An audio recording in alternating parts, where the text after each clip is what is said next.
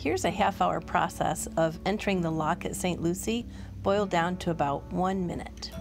St. Lucie Lock is the eastern entrance or exit from the Okeechobee Waterway that connects the east coast of Florida to the Gulf Coast, generally Stuart, Florida to Fort Myers. It's a two or three day trip depending on how fast or slow your boat moves.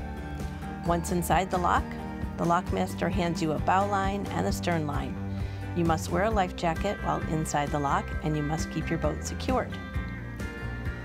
The locks on the Okeechobee Waterway are unique in that they are all gravity fed.